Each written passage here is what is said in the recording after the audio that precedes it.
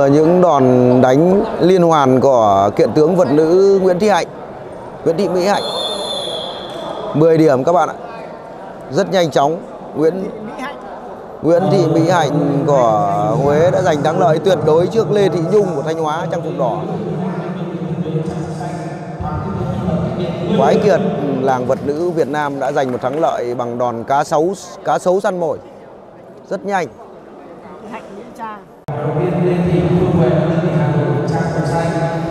Sau trận thi đấu này là vận động viên Nguyễn Thị Minh Anh Hà Nội và vận động viên Nguyễn Thị Mỹ Tiên đơn vị Thừa Thiên Huế chuẩn bị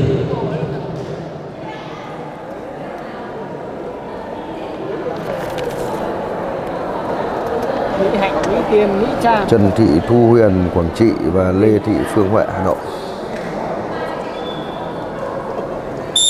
Đây, trận thi đấu thứ 45 hạng 65 kg lượt trận thứ hai.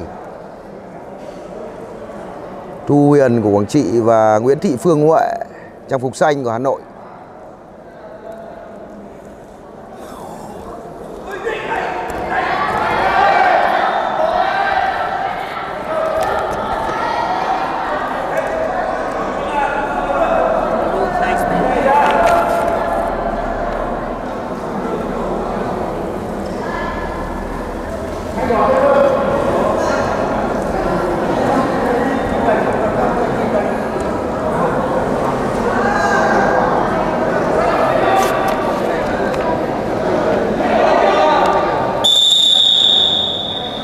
Chỉ được những quả chim cỏ để ăn lo cho vận động viên xuất sắc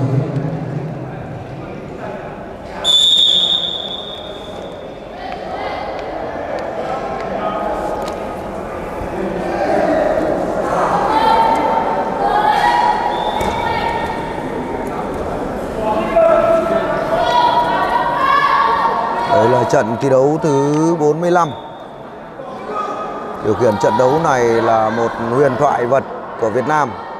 Ông Mẫn Ba Xuân Đang thuộc ừ, biên chế của Trung tâm Thể thao Quân đội. Một pha bó chó. Một đòn bó rất hiểm của Nguyễn Thị Phương Huệ, Hà Nội.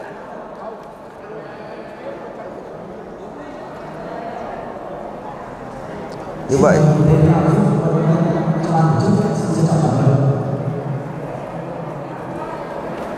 Như vậy là Trần Thị Thu Huyền của Quảng Trị đã gặp phải một chấn thương. Vừa rồi trọng tài đã cắt còi. Một đòn bó chó cực kỳ hiểm hóc của Lê Thị Phương Huệ, trang phục xanh của Hà Nội.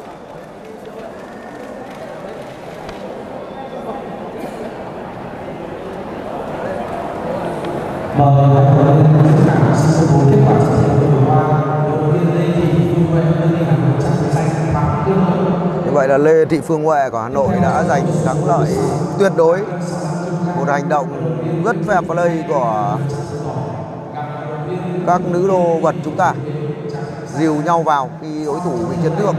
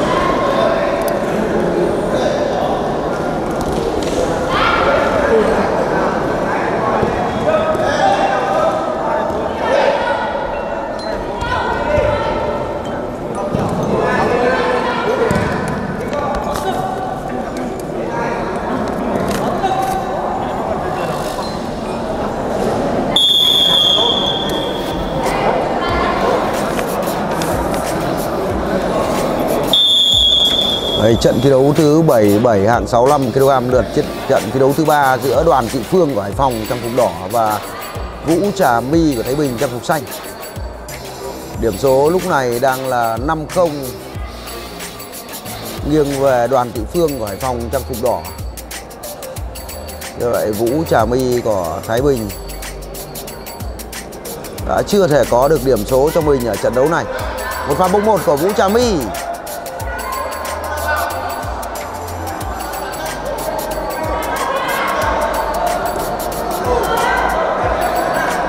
Chưa thể có điểm.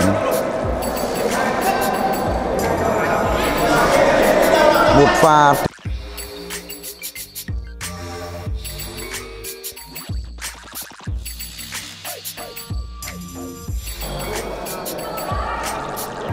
Tiếp tục là hai điểm nữa cho đoàn thị phương của Hải Phòng.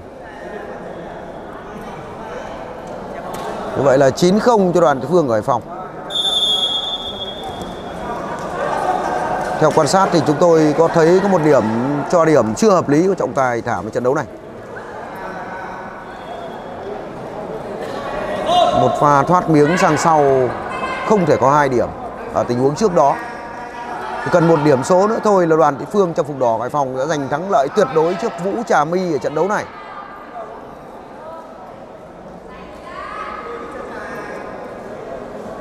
Dù sao thì chúng ta cũng phải tôn trọng tổ trọng tài. Quyết định cuối cùng là quyết định của trọng tài. Cần có một điểm nữa để giành thắng lợi tuyệt đối cho đoàn thị phương Hải Phòng trong phục đỏ trận đấu này.